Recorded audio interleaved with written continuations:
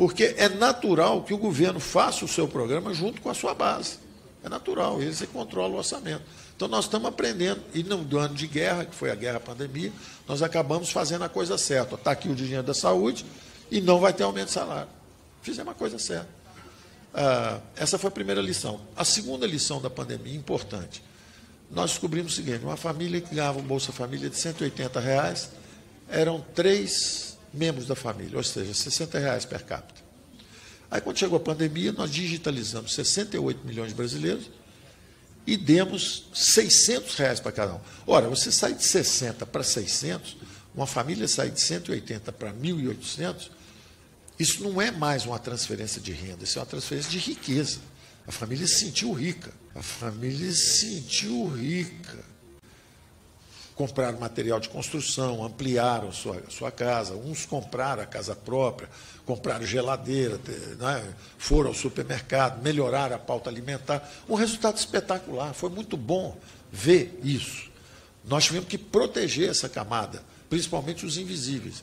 Eles foram protegidos e mostraram o efeito renda, quando chega um dinheiro mais forte.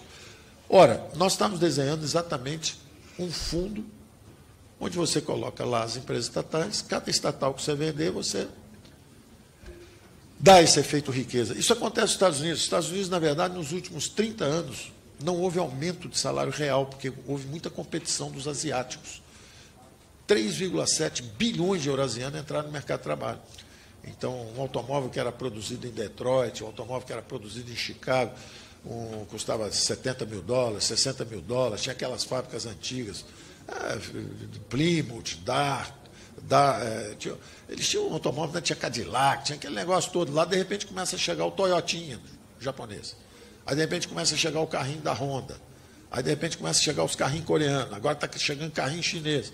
Quer dizer, quando essa competição aumentou, os americanos sofreram a competição, tanto que o Trump ganhou a eleição falando disso, falando de, olha, estão, os chineses estão tirando nossos postos de trabalho e tal.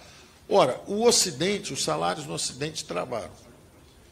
Mas os americanos continuaram, como eles são proprietários de bolsa, ou proprietários, têm casa própria, as casas continuaram subindo de preço e as bolsas continuaram subindo de preço.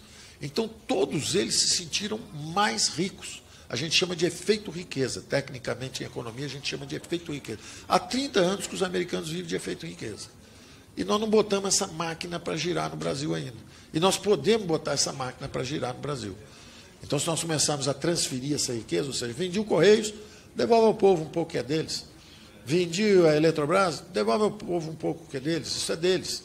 Vamos fazer essa distribuição de riqueza. Tá certo? Então, nós temos uma agenda importante social ainda para fazer pela frente. Nós temos uma outra agenda importante, a agenda verde. Nós vamos anunciar agora um, o, o, programa de crescimento verde. É, você tem, às vezes, casos que são impressionantes. Né? Você tem ah, ah, Las Vegas, nos Estados Unidos, era um deserto. Uma cidade pô, feita no meio do deserto, sem água, sem nada, um poeirão danado, pedra para todo lado. Isso há 40 anos atrás. Eu visitei quando era estudante, estava estudando lá, mochila nas costas, fui parar lá. Tinha cinco lojinhas de joguinhos. Esses joguinhos, essas maquininhas caça-nico, você mete o dinheiro ali, só para você perder mesmo, né? Botava um dólarzinho, dois dólares, perdia tudo e ia embora, feliz da vida, porque perdeu tempo e dinheiro.